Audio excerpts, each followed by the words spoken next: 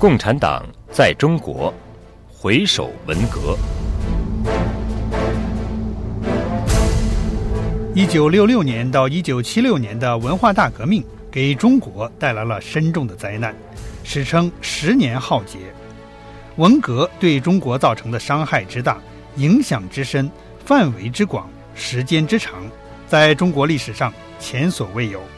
共产党在中国回首文革节目要为各位做系列报道，介绍文革的前因后果、历史事件、冲击和影响，以及被卷入的大人物与小百姓和命运赌博的血泪实录，向大家呈现事实的真相。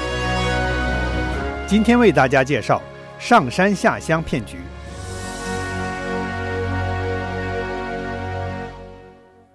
毛主席教导我们说：“知识青年到农村去，接受贫下中农的再教育，很有必要。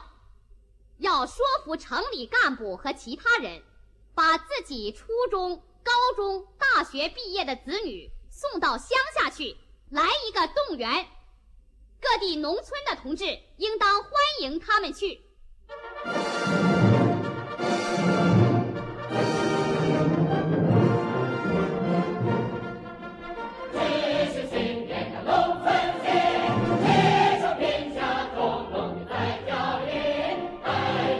毛泽东的这段话，许多中国人太熟悉了。他们会想到当年那场知识青年上山下乡运动，会联想起文革。会不堪回首。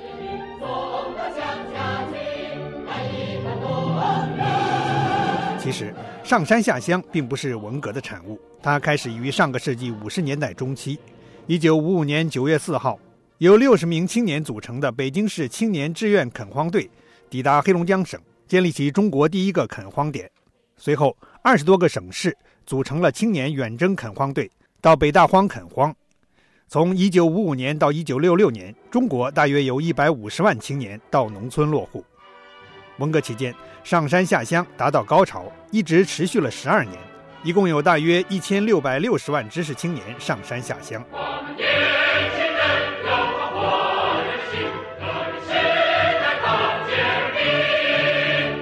一九六八年到内蒙古插队落户的北京知青张明说：“年轻人嘛，哎呦，当时听的是热血沸腾。再加上一讲说内蒙古草原那么的美丽，生活又很有意思。”一九六八年到山西插队落户的天津知青杨洋也有同感：“挺高兴的，广阔天地，大有作为。年轻人嘛，下去锻炼锻炼，见识见识，觉得好的不得了。地主老财都斗倒了，贫下中农当家做主，又是人民公社。”大家是集体劳动，看着电影里边，在戏里边又唱歌，大家高高兴兴的，觉得那个农村空气又好，阳光又好，天是蓝的，地是绿的，就那个想象的啊，那个把现在去郊游的那个景全放在那个农村里了。可其实根本就不是那么回事儿。张明也有这种感觉。中国的农村并不是像当时文化革命时所宣传的那样，哇，社会主义新农村，什么事情都怎么怎么好，有理想破灭的感觉。知青们还发现，贫下中农并不能给他们以再教育。天津知青张虎臣说：“他们受的教育很少，他们确实很闭塞、很落后。我们并不认为我们能够真正的从他们那里接触到什么再教育。”天津知青杨洋说：“下去之前呢，就说贫下中农觉悟高，我们要接受他们再教育。但下去之后，发现他们觉悟还没我们高了。”叫贫下中农给我们忆苦思甜，可是他那水平太差了，对地主的那种愤怒，对新社会的热爱，跟我们想象的不一样。我们当时就觉得这些人阶级觉悟不高。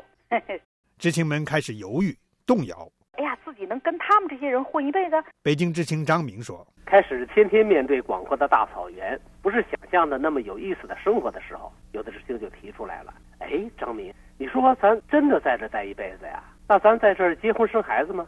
哎，说的一下，大伙儿全愣了。一想，哎呀，那我找老婆就在这些人里找吗？问题还远远不止这一点。在文革前，知青下乡多少还有一点自愿的成分。在官方的公开口径上，知识青年是去支援建设社会主义新农村。但是从1962年以后，在毛泽东与工农相结合、加强思想改造等左倾思想的推动下，上山下乡越来越带有政治色彩，已经开始带有强迫的色彩。在一九六二年到一九六六年间下乡的一百二十九万知青中，多数人是由于家庭出身不好而无法升学和就业的中学毕业生，上山下乡成为他们唯一的选择。二零零六年，中国重庆出版社出版的《无声的群落》，就是一批文革以前到四川大巴山区落户的老知青撰写的回忆录。这本书的主编，美国海因波特大学历史学教授邓鹏，就是一九六四年下乡的重庆知青。作为出身不好的人来说，就要脱胎换骨，要以自己的行动来背叛自己家庭出身和自己父母所处的那些社会阶层或者阶级。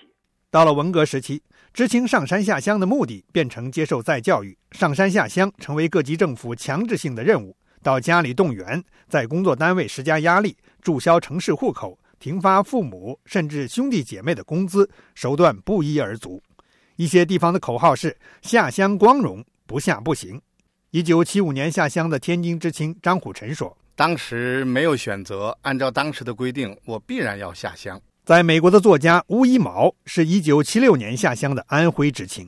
当时叫你去你就得去，当时能够扫马路都情愿啊，不要下乡没办法。在乡下，知青遇到的问题比比皆是。一九七二年十二月二十日，福建省莆田县城乡镇小学教员李庆林写信给毛泽东，诉说自己的儿子在下乡中遇到的生活困难。一九七三年四月二十五日，毛泽东复信说。李庆林同志寄上三百元，辽补五米之炊。全国类似事件甚多，容当统筹解决。于是，在一九七三年六月到八月期间，中国国务院召开全国知识青年上山下乡工作会议，讨论解决知青问题。会议期间，一份新华社情况反映揭露云南、黑龙江和内蒙古生产建设兵团数百名现役军官强奸数百名女知青的情况。周恩来指示公安部马上派人查处，不要手软。李先念说：“这些人不是共产党，是国民党，至少是国民党行为。”结果，这些罪犯都被枪毙。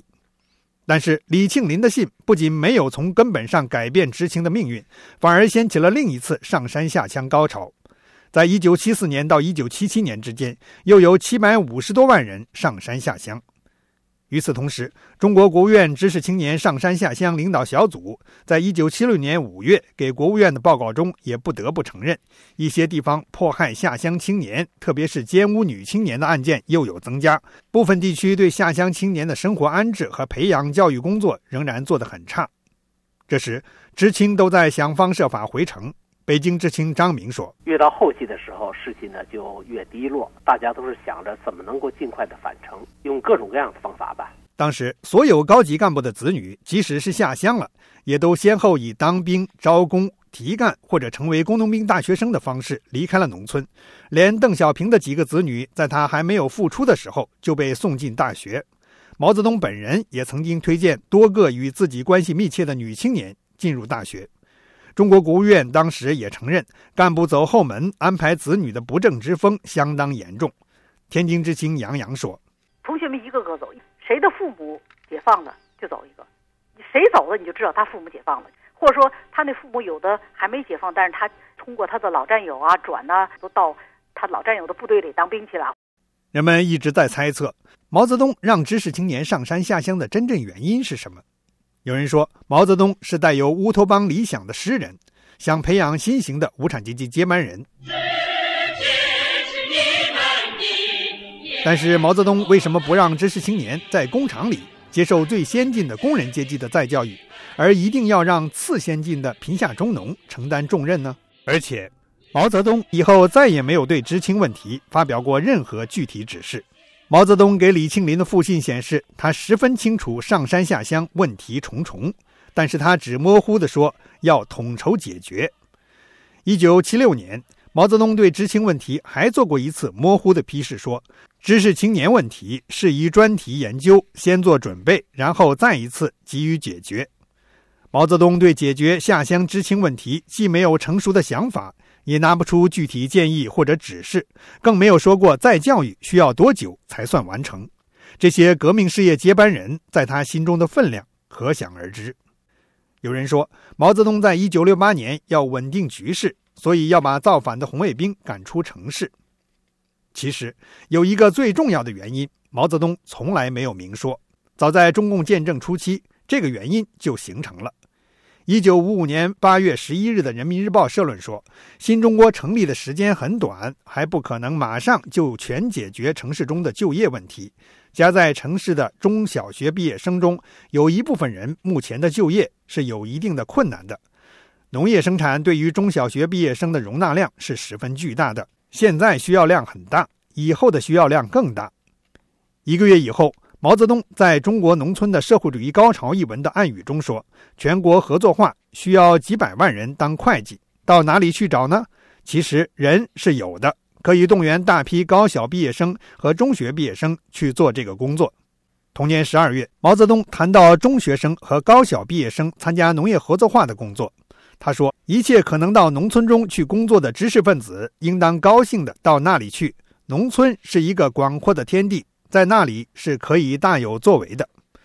随后，在一九五六年一月，中共中央政治局作出决定：城市的中小学毕业的青年，除了能够在城市升学就业的以外，应当下乡上山去参加农业生产，参加社会主义建设的伟大事业。一九五七年四月八日，刘少奇主持撰写的《人民日报》社论，关于中小学毕业生参加农业生产问题，也指出，最能容纳人的地方是农村。容纳人最多的方面是农业，所以从事农业是今后安排中学毕业生的主要方向，也是他们今后就业的主要途径。一九六二年五月二十七日，中共中央关于进一步精简职工和减少城镇人口的决定指出，城市中一般不能升学或就业的青年，有条件的可以下乡或者安置到农场劳动。一九六四年一月十六日。中共中央印发《中共中央、国务院关于动员和组织城市知识青年参加农村社会主义建设的决定》草案，同时成立了中央安置城市上山下乡青年领导小组，由副总理谭震林担任组长。根据周恩来的指示，谭震林在一九六五年提出一个十五年计划，准备在一九六五到一九八零年之间下放一千一百万到一千二百万知青。这一切都充分显示，早在文革开始以前，知识青年上山下乡就已经成为中国的既定经济政策。文革开始以后，1966、1967和1968三届的高中和初中毕业生积压在城里，大约有一千多万人。此时，中国共产党再次动用上山下乡的既定政策。1967年7月9日，《人民日报》发表社论，题为“坚持知识青年上山下乡的正确方向”。一九六七年十二月二十二日，中国教育部向中共中央报告说，毕业生不分配出去，新的学生进不来。毛泽东随后在一九六八年四月批示黑龙江省革委会关于大专院校毕业分配工作的报告时说，不仅大学，且有中小学要面向农村、边疆、工矿基层分配。当时工矿生产规模比文革以前还小，根本无法容纳更多的工人。结果只有农村和边疆可去了。这时，中国官方借助文革的极左思潮，顺势给知识青年上山下乡加上浓厚的政治色彩，说知青上山下乡是一场伟大的社会主义革命，对于培养无产阶级革命事业接班人、巩固无产阶级专政、防止资本主义复辟，必将产生深远影响。文革中对毛泽东狂热的个人崇拜，更是被用来推行上山下乡政策。一九六八年十二月二十三日。人民日报发表社论：“我们也有两只手，不在城里吃闲饭。”公布了毛泽东在十二月十一日发出的“知识青年到农村去，接受贫下中农的再教育”的最新指示，把解决经济问题的政策政治化，变成一场政治运动。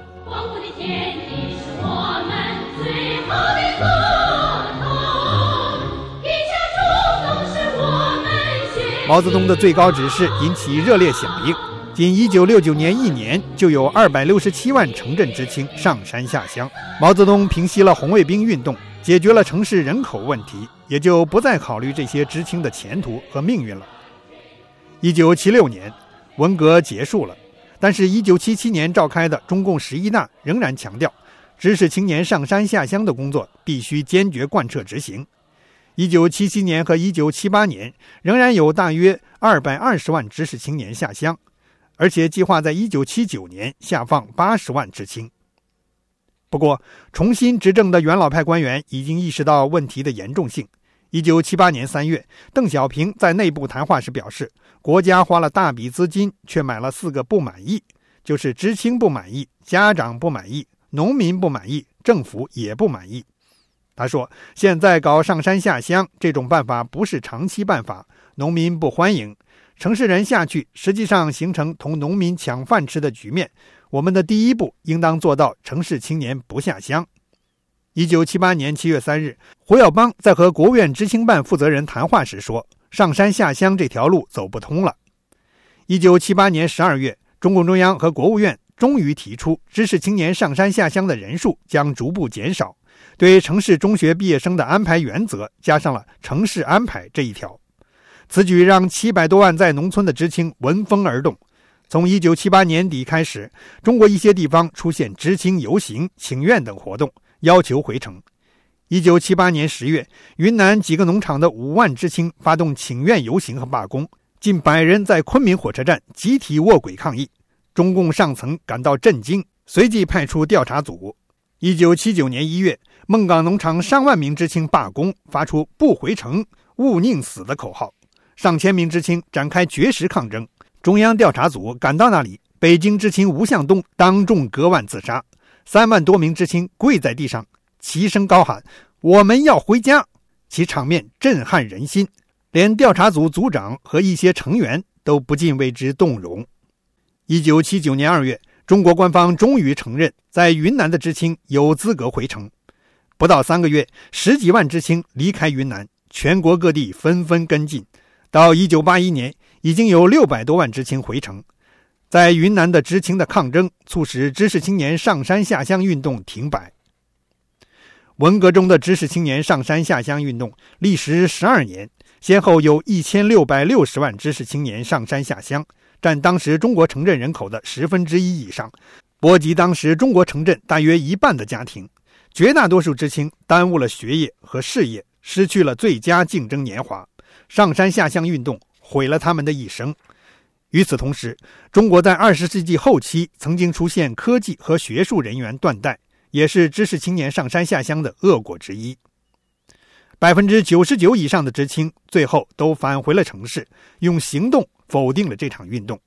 也有一些知青认为，那段艰辛的经历磨练了自己，是人生中难得的财富。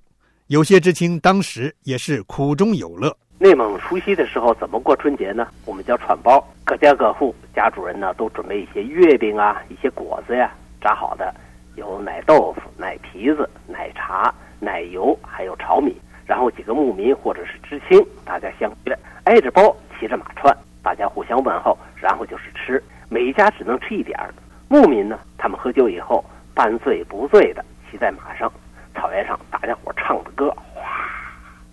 亲爱的毛主席，他上次是蒙文了，混得太拉，就左右晃悠着。当时的感觉，这个很开心。为村里接生了七十多个孩子的赤脚医生，天津知青杨洋，在离开农村的时候，还有些恋恋不舍。